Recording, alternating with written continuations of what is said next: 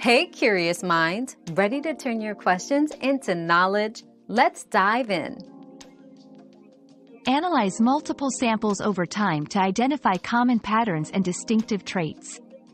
Focus on attributes such as slant, loops, pressure, and character connections. Practice signing in different settings to observe natural variances. Utilize tracing techniques to overlay and compare signatures. Keeping a signature log can track changes and improve consistency. We've quenched today's curiosity, but there's always more to learn. Keep the curiosity alive by subscribing and joining us for our next adventure.